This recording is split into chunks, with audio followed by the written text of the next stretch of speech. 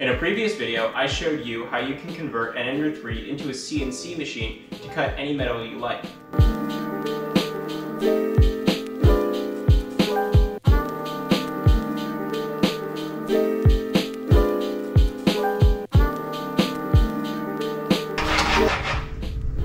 Sorry. ECM stands for electrochemical machining. Unlike regular CNC methods, electrochemical machining does not use a spinning tool to physically cut away material. Instead, electrochemical machining chemically dissolves away material very slowly. This means that we can cut nearly any metal we want without ever having to apply force to it physically.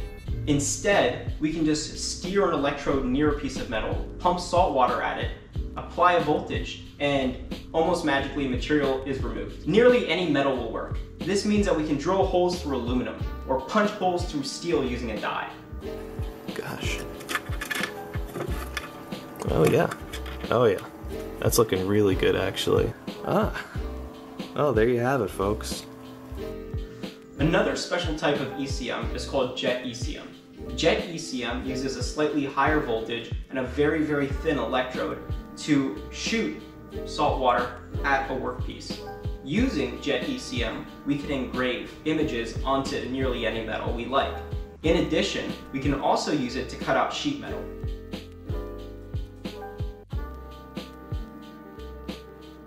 But today we'll just be sticking to regular ECM. We are going to build an open source 5-axis CNC machine using 3D printed parts. And then we're going to be testing it by punching holes through 3mm thick aluminum plating.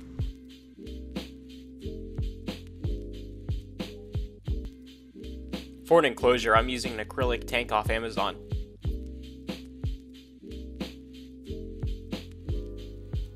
The main frame fits snugly over the top of the acrylic tank and allows us to mount all the parts we need.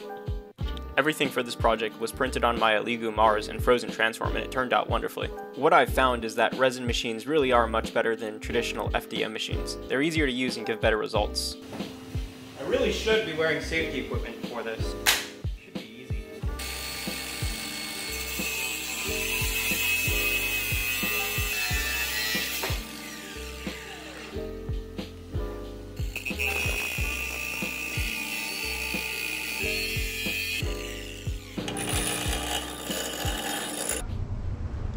Forgot to mention, if you're at all interested in some of the background chemistry and details of ECM, make sure to check out my earlier videos on the subject. I have two introductions that should get you through the basics. It is 3 a.m. just about, and I, I want to get these parts out, but the problem is I'm running low on resin, so uh, this, uh, this better work. I ended up spraying these M8 linear rods with dry PTFE lube, and it worked really well. If I get the opportunity, I'd like to recycle this design for a large 1 meter SCARA arm. After all, it's time to upgrade my FDM printer. Well, it looks like I destroyed the tripod in a um, fit of rage, so we're gonna have to find another solution. Now we are talking. Made in America, baby. These are just two stainless steel linear rods that I cut down with angle grinder, and then I epoxied them into this printed part right here. Assembly is very simple. If you've ever built any sort of 3D printer, then this is going to come very easily to you. The components are all very cheap and readily available. You can get everything off Amazon for the most part, minus the 3D printed parts.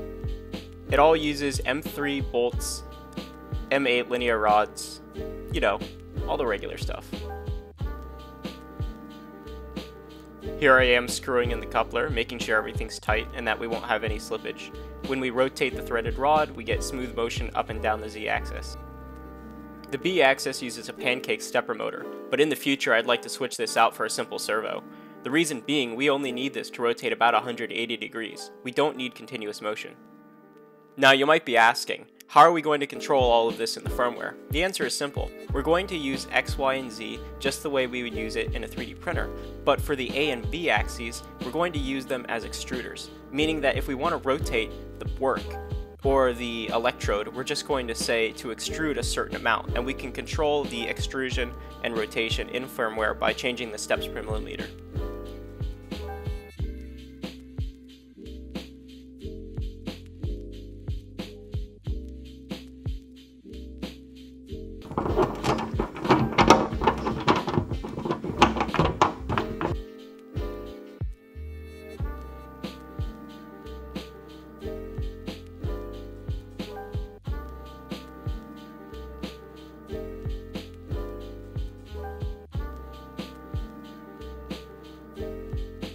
This is a quick rundown of how the machine operates. There are, of course, five axes. There are two stepper motors controlling the y-axis.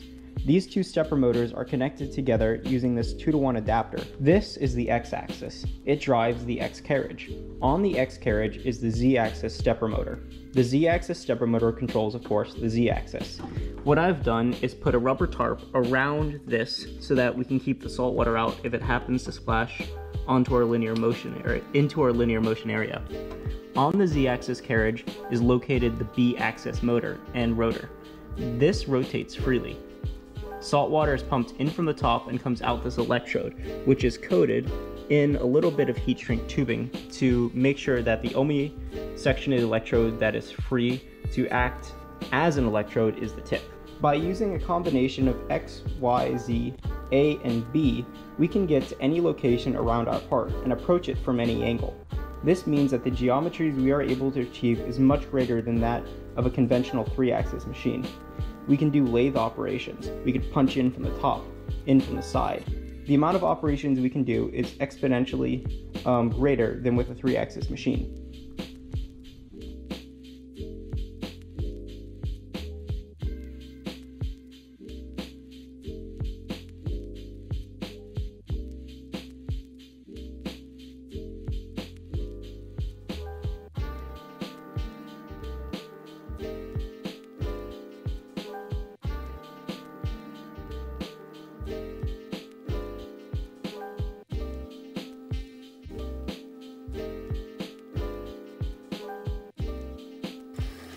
Three, two, and we're rolling. Starting the drilling.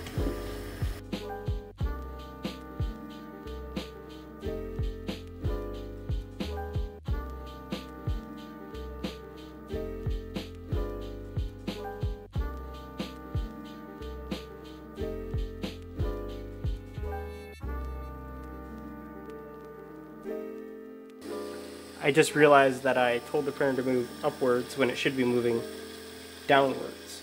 So I am going to go fix that right now. Let's run this baby.